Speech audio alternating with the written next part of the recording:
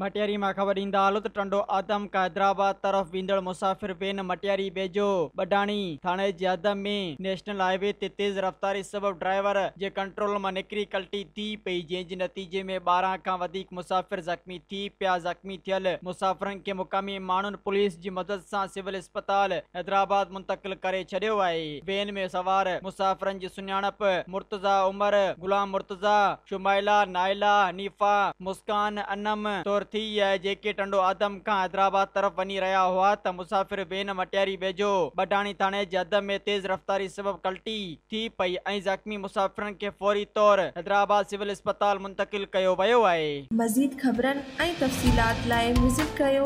जी website www.awaminews.hd.com ऐं दिसंदा रहो अवामी news H